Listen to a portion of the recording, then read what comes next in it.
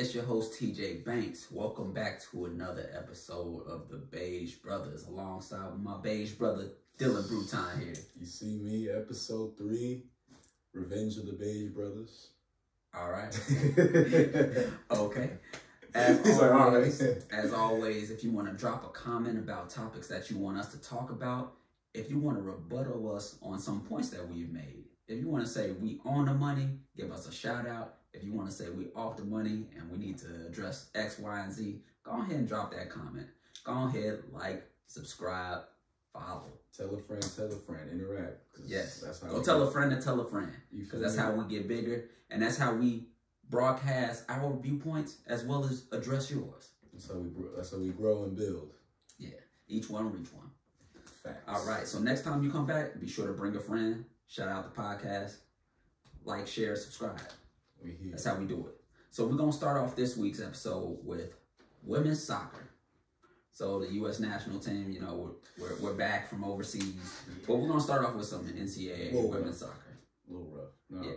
women's soccer though, they look like they they've got a lot of big shots that are gonna be contending.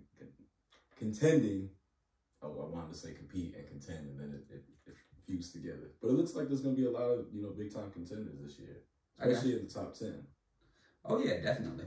Um, the ACC is loaded with talent Mhm. right now. Um, you got to be on the lookout for a couple matchups for this first week for this opening week in soccer. We got number two North Carolina going against uh, number ten Penn State.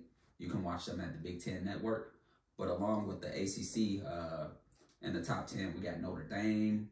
We got uh, West.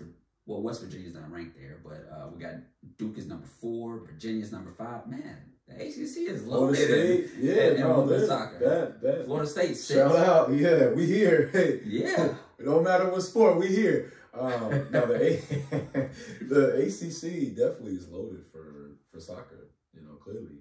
Um, but you know, the SEC they, they got Bama, they got Arkansas, and then number one, Number one, you go out west. got West Side.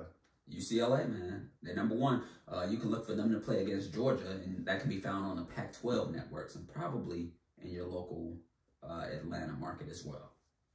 They're saying the top the top players to most look out for the season is going to be Penn State's Katherine Asman, who is the goalkeeper, and they're saying that nobody is able to score on her. Like she's she's like you know the Dikembe Mutombo of the soccer world. Nobody's All right. on her. And then okay, I, I, I just made that comparison myself, but but like just looking at her statistics and just like you know seeing the pedigree, she was the the Big Ten tournament defensive MVP. So that's that's not an easy award to win. And then on the offensive side, you got Avery Patterson, who's um, midfield and forward player Okay. at North Carolina.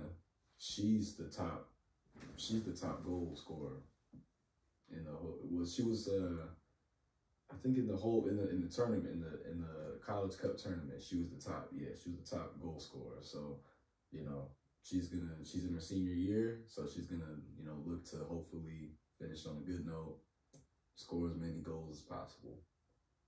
Oh, you're absolutely right. Uh, while we're speaking women's soccer, we're gonna go ahead and shout out a couple of uh, couple of our friends, fans and friends. Uh, the great the great twins over there at Yes. UC Berkeley. Yes, shout out to Anissa and Amaya. We we did an interview with them at the NIL Summit.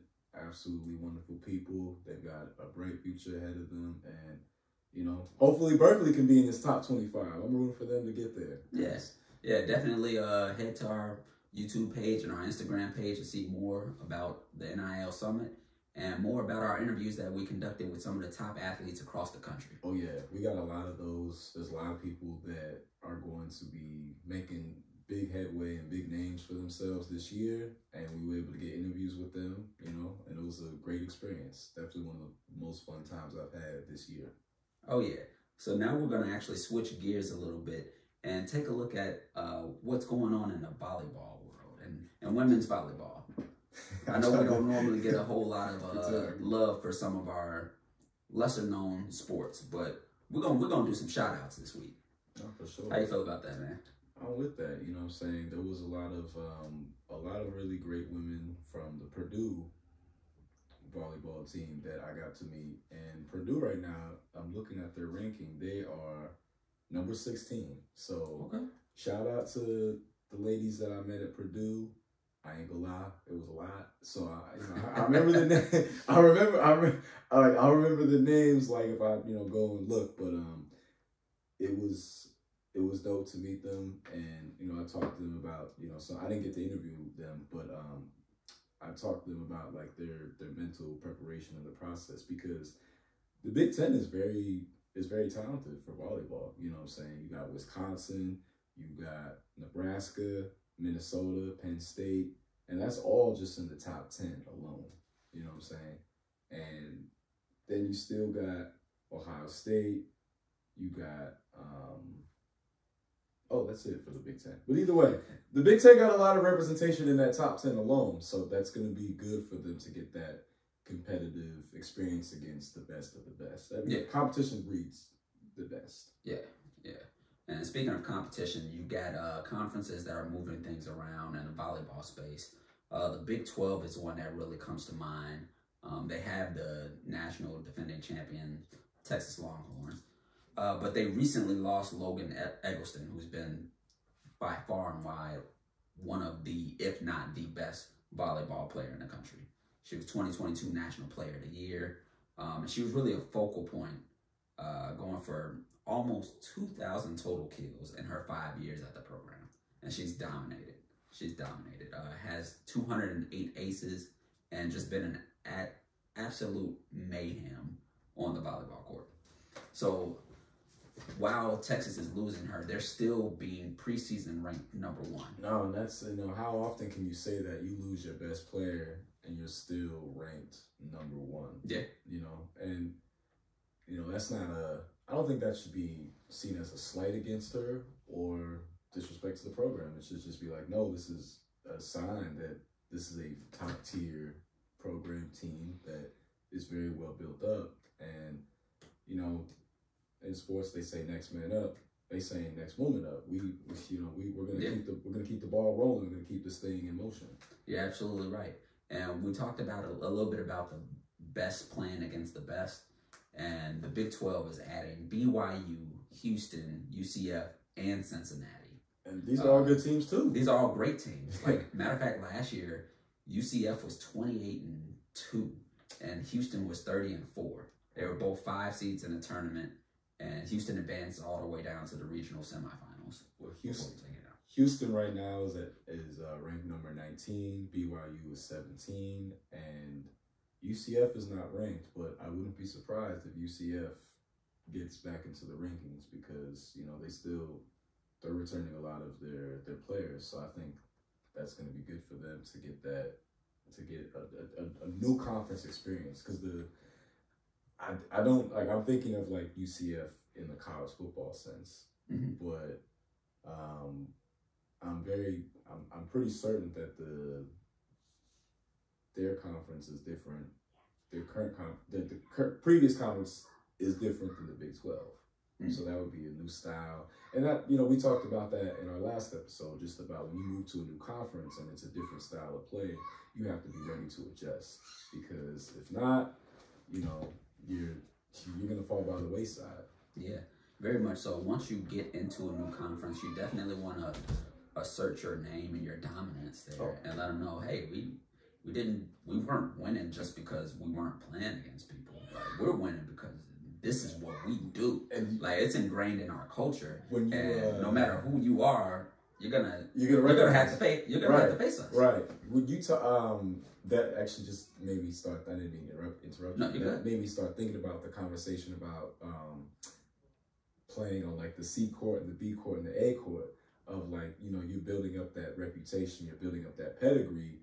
And even if you are, your talent is worthy of playing at the A level and you dominate there, you know, being able to get those reps in and get that time in in the C court, that can be very helpful to getting you to that point. Very and much. then so. going to the B court and then moving like, okay, I'm ready to cash my chips in and play with the big dogs. Let's Yeah. let's get it cracking. Let's get it going. Yeah, I think it's something to be said that whenever you can force your will on a situation, uh, make another team play your style of that Mhm. sport, you have a level of competitive advantage that isn't talked about enough.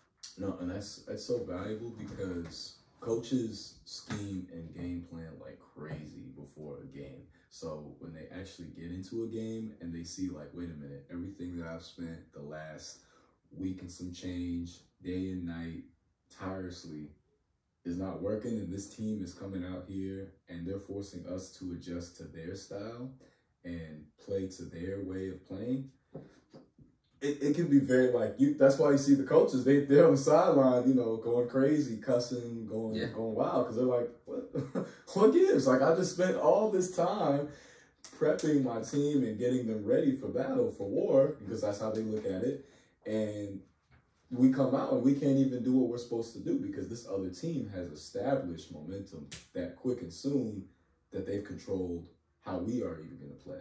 Mm. I mean, I think you're absolutely right. Uh, and you see some teams they they make the game their own. They force you to play their style, and some teams have a difficulty playing your style and have difficulty adjusting. Yeah. And when they have difficulty adjusting, that's where these upsets come in. You're like, well, how did how did Team A go ahead against Team B like their national? How did a C team lose to? I mean, how did a, a A team lose to a C team? Yeah, you know, because that happens. and that that is where these Cinderella stories take place. You see it all the time in March Madness in college basketball. hmm where you get a, a team like Mercer that comes out and they play against Duke and it's a two versus Oh, fifteen and you're like, oh, painful. Duke is expected to so win. painful. and then next thing you know, you got Mercer running the court and hitting game winning shots and they're like, well, what happened? Well, one, they had to play someone else's style of basketball yeah, and they weren't suited for it. yeah. They weren't ready for it. And I mean, you know, with uh, volleyball, one thing that I've noticed with volleyball and just like with tennis, your your defensive ability is so important because there's so much back and forth literally in the actual motion and game itself. Mhm. Same with soccer. There's not a lot of scoring in soccer. So if you are able to defensively establish your dominance and your game plan and impose that will onto the other team early, that's really how you'll control the momentum. But every conference has different play styles. And then whether the climate of where you're at, that also factors in because soccer, soccer's an outside sport. Volleyball is a little different because this is not beach volleyball like at the Olympics. This Yeah. is volleyball. They're inside a gym. But still, the conference play style definitely plays an impact to how you're going to set your team to go out and play and how they're going to compete. And a lot of people just need to consider that more because they think it's just one of those things where like, oh, you just whatever throw this person here. But it's like, you know, throwing in, in a real life sense, it's like throwing someone who is an introvert into an extroverted setting. Mhm. That's not their style. That's not, and if they're not, if they don't have an adaptable personality, they're going to, they're going to be, they're going to go through difficulties. They're going to feel uncomfortable. So you know, it's all about finding your comfort zone in the midst of a new circumstances surrounding. Okay, so I think you're absolutely on to something with that. Um, and as we talk about finding your comfort zone, we're gonna take a, a little shift and look towards the West Coast. We're looking at Stanford right now. Um, Stanford's got the greatest number of national titles in NCAA history, like with volleyball at nine. Um, their most recent title came in 2019, but after they lost a, a great uh, senior class, it took a few years to rebuild. Yeah. And it, it's been tough. It's been tough for them. During the COVID season, they they went like two and eight, um, and they were really struggling. Uh, but shortly after, they got a little bit better. Um, they're in rebuild mode, 19 and 11 Yeah. in 2021, and last year they went 27 and five.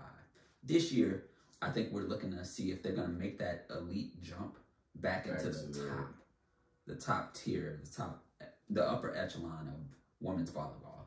I think they can. I mean, they they're bringing back most of their roster, and their you know best player Kendall Kipp. She's got her final year of eligibility, and the blessing in disguise, I guess you could say, that came from the COVID stuff was that it, it granted so many players extra years of eligibility. So Yep. I think that if as long as they continue their momentum, because San Diego, who you know they they were the they were that Cinderella team. They were in a blue blood school, and they came kind of came out of nowhere. and they were beat. You know, they beat Kentucky and they beat they beat Stanford. Um, there there's going to be more attention again on Stanford of seeing like, okay, like yeah, you didn't reach the the pinnacle of which we we know that your track record and history suggests that you will get to. But we know y'all are capable of that, and we know that you have a, a, a very talented team on your hands. So can you get there? Can you make that jump and get back to the level at which you were previously at and historically have been at? Because that's the expectation. Yeah. You know? Yeah. I know you mentioned a couple in-state rivals or new rivalries uh, in-state. Uh, we also have a couple breakout teams coming from the state of Kentucky. You know, we got to, you know, because our FTG brothers, you know, they they're from Kentucky. Well, one one is, and the other, you know, well, we'll say they're from Kentucky. Yeah, they they got their they they got the uh, they got their roots in Kentucky. We can say that. Um. So Louisville had a breakout run a couple years ago, 2021, with a national semifinal run. Louisville always has good volleyball teams. They do. I've like that's actually something I've noticed for years. I've, I've noticed like I, I would never profess that I'm the biggest expert on volleyball, uh, but when I whenever like I do catch a game and I look online and I look at rankings and whatnot, they're in there always. So yeah. they're gonna they're gonna be back for more, and they're gonna be back to etch their name. Yeah, we're looking at them as well as Kentucky, who was in the national title game uh, this past season. So uh, that's another good in-state rivalry that you can be forward to look to look, that you can actually look forward to in women's volleyball. I think that's those in-state rivalries are are so great to go to if you ever get the chance because you get to see like the the rah rah and the hoopla that goes into like the hype and whatnot, but just you know the the competitive factor of like this is someone who's in our own backyard. Yeah. Now it's like who's the who's the the queen. I, I was gonna say king, but then I had to had to change it based on. But who's the who's the queen of the city? Who's the queen who's of the state? Know, who's you. running things? So I got you. All right, now we're gonna turn our attention. We're gonna shift a little bit from women's bad, uh, from women's volleyball and women's sports in general at the NCAA level, and we're gonna highlight some of the HBCU football power rankings for this year. Shout out to the HBCUs. You know, uh, for those who don't know, I'm an HBCU alum and uh, TJ's wife is an HBCU alum as well. So you know we we, we hold it down. Shout out to the SWAC and the MEAC.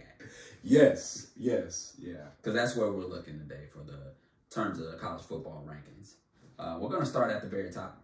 We're gonna start with North Carolina Central. Man, they are nice. I saw them last year um, for the Mayo Classic. They played NCAT, and coming into the game, there was more NCAT fans, and NCAT had a lot more hype around them even though like NC Central is normally like one of the best HBCU football programs, but man, they they they, they ran NCAT out that building a little bit. I can't lie, and I almost went to NCAT too, so I was rooting for NCAT. I was just mm. like, damn, but they have the best quarterback in probably all the FCS, Davius Richard. Um, they have one of the best DBs, and Khalil Baker. He's a really good safety, and they they're they have um, a very good receiving corps. They have they have one of the best O lines in all of the, the HBCUs, and they have just a very good coaching staff that gets you know that the most out of the players. So I, I'm very much, I'm very much uh, gonna go out on a limb and say they might end up going undefeated. Mm, wow. Yeah, they just seem to have a step above the rest of the HBCU football competition uh, particularly this year, especially now that we see that Deion Sanders has taken. I was about to say Jackson State has, has gone to Colorado that was the, that was the biggest, a lot of the team. Yeah, that was the biggest competition, you know. And then shout you know shout out to Jackson State because I mean people very much are, um, you know, still paying attention to them because they their profile was raised so much last year, mm-hmm. um, and I feel like Jackson State, you know, TC Taylor can't replace what Deion did. But I think he's still he he seems like he's gonna usher them into a new era very well, and they're bringing in a lot of new guys, and there's a different culture there now. Yeah, it's a winning culture, and I think that you know if you can leave a place better than where you left it at, then that's a good thing. And that's why you don't see a lot of people like, you haven't really seen a lot of people really badmouth Deion. They just understand, like, look, you know, there's a lot of different things that you experienced in your time here, so we get why you made the move. Didn't want didn't want it to happen, but we get it. You know what I'm saying? But I gotta take it to Deion's home state of Florida because Florida A and M, they're nice. They got the they got the best receiving corps in the whole uh, HBCU football, and they have a really good quarterback as well, Jeremy Moussa. Really talented. He can get he can fire the ball at all, all sides of the field, and they even had a couple uh, guys on defense that are on the Cowboys right now. Oh, nice. So it's like their their team. If it's if it's not if it's not NC Central, it's Florida A&M. They're I mean Florida. Obviously, we know Florida is a is a hub for football town in general, and definitely mm-hmm. in, in, the college game. But um, Florida A&M is definitely going to be in the running with NC Central. Yeah. So I think uh, so. They are in two separate conferences, um, and I think that we pretty much listed the what should be expected to be the champions coming out of each division. Yeah. Uh, with NC Central coming out of the MEAC, and then Florida A&M fam coming out the SWAC. Yeah. Yeah. Uh, but I do look to see them play maybe at the end of the season, um, in a in a bowl game for them. That would be that would be good. And look, hey, if you've ever been to like an HBCU game with like, okay, I, am I'm, I'm gonna preface this to, to not be disrespectful at all because I do support HBCU athletics.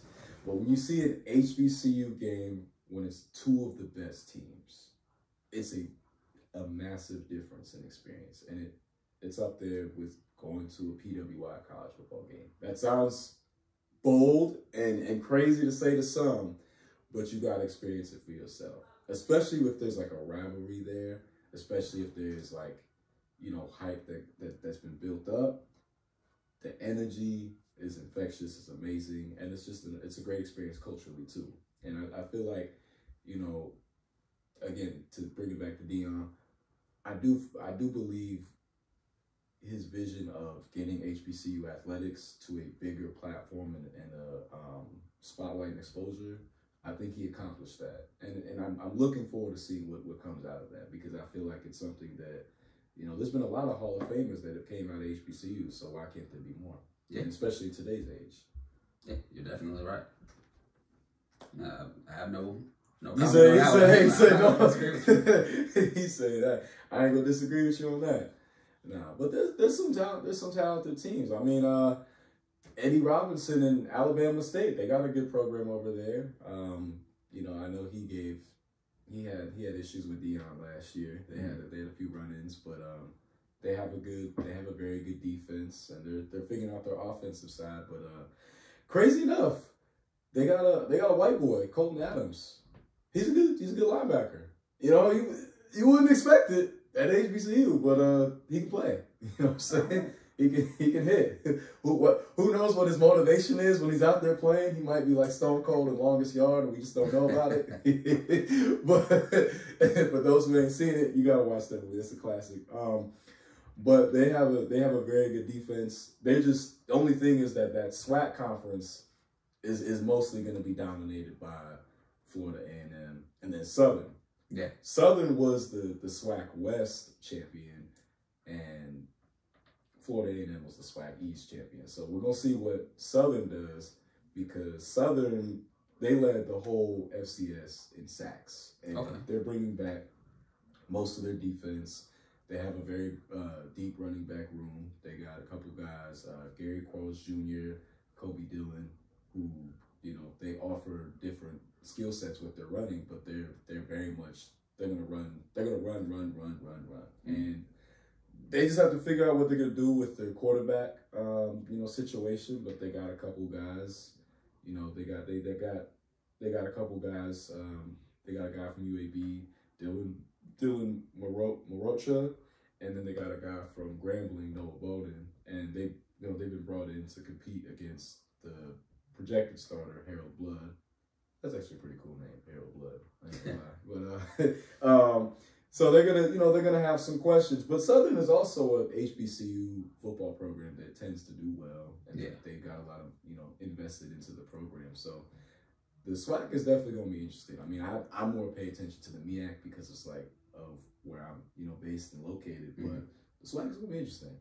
Yeah. So you mentioned it a little bit earlier uh, that Jackson State's going through a, a lot of personnel changes. Yeah, I think that's something to note, and we're interested to see how they're planning to bounce back. They they lost their head coach Deion Sanders. Um, they lost sixty players, but they have twenty nine transfers coming in and twenty seven freshmen and a new head coach. So with all these changes, how do you think they're actually gonna? how they gonna do? How are they gonna do? Because they, they're coming off a dominant season. Yeah, they were they, They were were twelve and one. watch. I actually I was actually trying to go to um, their last game against NC Central, but I, I couldn't make it. But um, I watched it on TV, and they were you know that was an amazing amazing game. At their the personnel has changed obviously, and you again like I said before, you can't replace the impact that Deion had on that team Mhm. and and the the impact and foundation he laid. But that foundation that he laid is going to allow them to continue to build for the better. And you can't, you know, you can't replace Shedeur at quarterback or Travis Hunter, who was the top overall recruit, and and you know he made history by being the first number one recruit in I don't know how many years to go to an HBCU. Um, you can't replace players of that kind of pedigree necessarily, but next man up. They have a lot of young guys that are hungry, that you know were in the Deion regime. Uh, I was about to say regiment, but in the Deion regime, and then you got new guys that are coming in looking to prove themselves. And I think it'll be very interesting to see what happens. But I, I still say they're going to be in the running. They're going to be in the. I would be very surprised if they have a bad year. Let me put it that, that way. I, I think they might not go undefeated until the very last game of the season, but I say like eight, eight wins. You know, Okay. between eight to ten wins is very is very achievable, especially with their schedule. So it'll be interesting to see. I'm excited to see though, because it's like again, it, you know, Deion raised the profile for them. Now it's up to them to continue to to continue to make good of the work that he he laid and put for them. I got you. I know the HBCU schools have a couple of uh, sleeper tier, uh, sleeper schools. Like you can always, you always have to be alert of these schools because they can knock you out and like really roll to somewhere great. And we got uh, Texas Southern up. You got Okay. Andrew Body. Um, he's entering his junior year, and he's got a full season of starts under his belt right now. Uh, so Texas Southern got got a couple pieces too, and their record, um, their record doesn't fully reflect the level, you know, what I'm saying of of who they are as a team. But they have a pretty pretty good schedule, and there's going to be increased pressure, but it's possible for them to to reach that next echelon. Um, they don't have they don't have them listed here, but I, I, I guess you could say they're a sleeper team. But I actually um, did a little research on them because they have a lot of guys that are you know considered top in the in the different position categories. But Howard, Yeah. Howard is another team because last year they went five and six, but four of their wins were in their in, were in the MEAC. Mm. So to me, that shows that okay, you're doing well against your your competition that you're playing around and whatnot. Now, what can you do when you have to go against other teams? Yeah, so I think they're not. I think they're no longer listed as a sleeper because they've stepped up Right. in the past two Right. seasons uh, to the point where you can almost consider them a championship level team for their conference. Yeah. Like I can expect to make for them to make some noise in the Yeah. Yeah. They'll, they'll yeah they'll definitely make some noise. I mean they got they got a very good offense and they're they've they've kind of built their identity as a team. Um, obviously, you know, I, I for those who don't know, I went to Hampton first, so the real HU will always be Hampton. But you know, shout out to Howard, and I, I hope that they they do well. But um, I think that'll be interesting to see, like if they can fully solidify themselves. Mhm. And then you know, you got a couple other sleeper teams that have a history. You know, look at Alcorn State. Yeah. I first heard about Alcorn State because of the great Steve McNair, and I don't want to go out on a limb and say that their coach is in relation, but that's a pretty it's a pretty unique name. So I wouldn't be su- I'm about to look that up right now. Let's see, Fred. Fred McNair. Yeah, I'm like that. That's a name that's too. That's too unique to not be in relation. He is the brother. Okay, that makes that makes all the sense in the world. So, you know, shout out to shout out to Fred McNair. Uh, you know, shout out to Steve McNair, one of my favorite quarterbacks growing up, one of the best quarterbacks I ever saw. He's got a, one of the best running backs and arguably all of the the you know FCS and he has really he also has another he has a very good set of defensive linemen. And they start they struggled but they ended the year well. So you know hopefully that they hopefully how they ended the season is how they can start and finish this upcoming season. Gotcha gotcha uh, we do have another sleeper school which is morgan state oh shout, i know some people went there and graduated shout, shout out to morgan state and yeah shout out to morgan yeah uh, so we this year, outside of our sleeper schools, we got a couple that are looking to really bounce back. And in our bounce back tier, we, we're looking at PV out of Texas, out of the most people went there too. Yeah, out of the southeastern corner of Texas. We got South Carolina State coming up in the MEAC. Yep. And we got Tennessee State. Yeah. And those are who we're looking to. They had some rough go, a little bit of a rough go last season, but they're looking to really take a stride forward uh, the conference is probably going to be a little bit rebalanced now that you've had people leaving and entering the transfer portal. Yeah. Um, and we can look for them to try to make some noise, uh, give some teams a, a good run for their money. I don't put them at championship level no. or anything, not yet anyway. No. Uh, but they could definitely take a couple strides forward.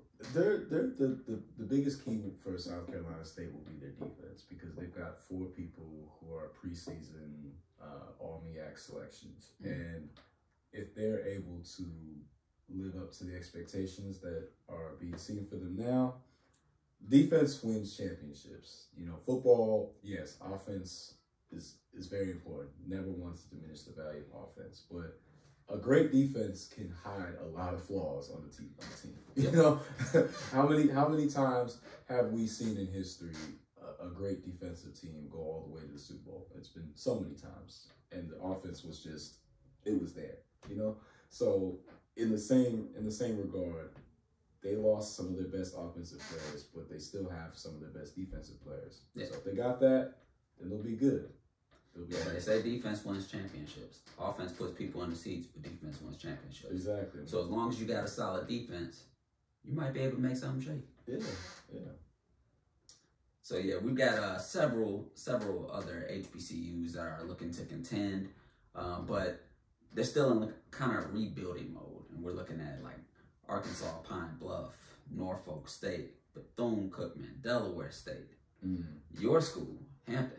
Ah, yeah. It's, it's, it's, just a bit of uncertainty. it was probably they even got Grambling in here. And yeah, Grambling made a lot of news when Hue Jackson from the NFL came down there to coach, and you know they have a history of, of producing a lot of NFL talent, but they just in this day and age haven't been able to put it all together. But you know they got a they got the top. They, they said they said they have the top uh, edge rusher in all of HBCU football, and for Hampton, they have a, a, a, schedule that's got them playing a lot of division division games. I mean, they gotta play they gotta play A and T for homecoming. I ain't gonna lie, I might be in attendance for that game. You know what I'm saying? Uh, I know it's gonna be. A, we'll see, we'll see. An interesting day. That's gonna be one interesting day, for, yeah. for, for, for, to say the least. Um, and all, all, all good reasons, you know, of course. Um, but but uh, there, I think that yeah, it's just gonna be interesting to see. Like they've got to be able to sustain and put together. When I would go to Hampton games, the issues usually came down to consistency. One week they would look great, and it would look like, oh, watch out. And next week it'd be like, what happened? Where everybody go? You know what I'm saying? And then as far as with these other schools, uh, one name that you named was Bethune Cookman. Yeah. I really would have liked to see Ed Reed been able, been able to coach. That that was a missed opportunity. Same here. They they dropped the ball with that majorly. And I actually got to go to Bethune Cookman last uh, last summer as part of a music program, completely unrelated, but you know something else. Um, and it's a really lovely school and a lot of really great people there. And you know, it seems like they have some some talent there, and I think they would have benefited greatly from having a coach like Ed Reed. He might not have the personality of Deion, but I think that Hall of Fame pedigree and a championship experience would have been so beneficial for them to to really learn from. But you know, I still hope that they do well. You know, in spite of all that.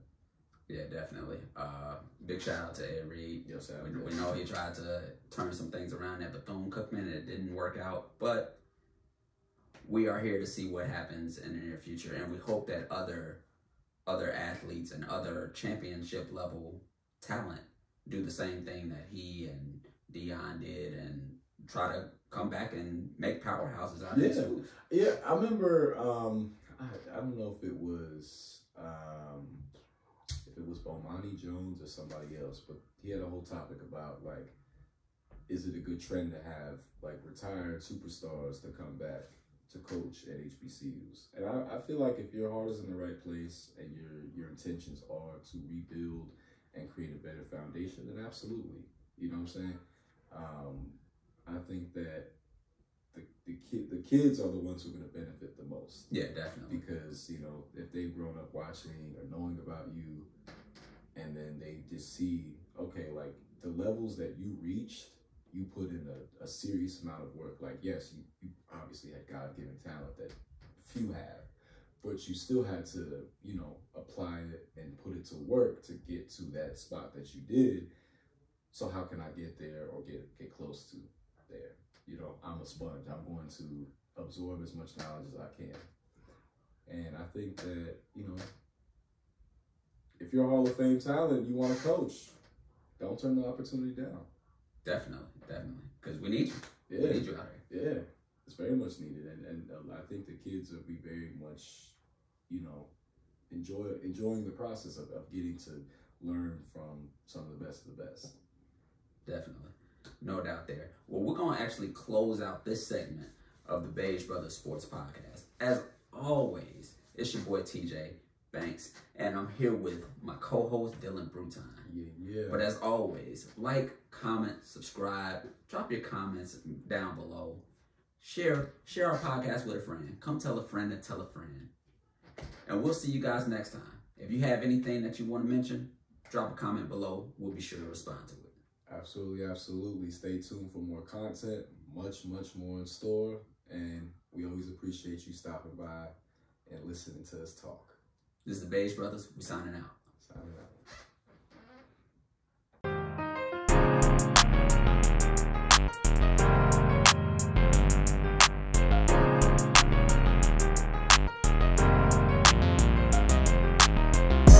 It's a good day to get money, get money. It's a good